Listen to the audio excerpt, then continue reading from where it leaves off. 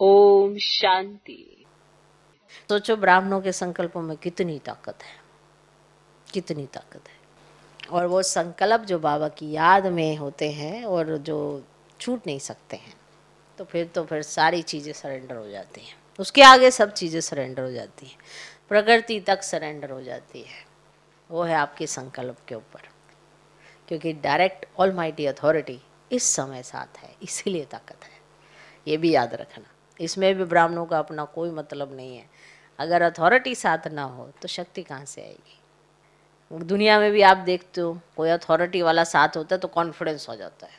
कोई उसका जानकार है, कोई उससे लिंक से लिंक है बड़े अथॉरिटी वाले से तो उसका कॉन्फिडेंस और हाई हो जाता है। तो दुनिया में भी आप देखते हो तो सोचो आपके साथ कौन है, जिसने आपकी तकदीर बनाई, जो अभी आपकी तस्वीर दुनिया को दिखाना चाहता है, पर आप अपनी तस्वीर में अपनी तकदीर को खुद तो देख लो।